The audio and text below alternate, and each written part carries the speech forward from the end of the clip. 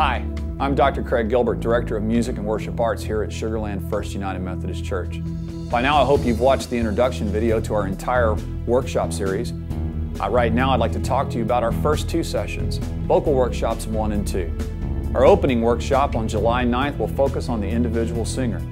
We'll deal with specifics like vocal production, pitch placement, vibrato and breathing. We'll also talk about mic technique, including not just holding and moving a mic properly, but using the characteristics of a microphone to get your best.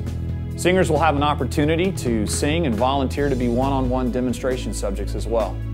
Vocal Workshop 2 on July 16th is designed for group singing. We'll spend time dealing with group singing issues such as blend, listening to each other, finding harmony parts, and how to connect with the congregation while maintaining a group dynamic. Through the power of multimedia, we'll hear from some of the top Christian singers in the country and I'll have some great singers here as well. Most of all, you'll learn from each other in hands-on demonstrations, time spent sharing your ideas and experiences, and just a group dynamic together.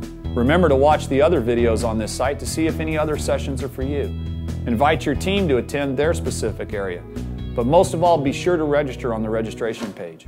The workshops are free, but you must pre-register to reserve your spot. I'm looking forward to seeing you here at the Refresh Summer Workshop Series.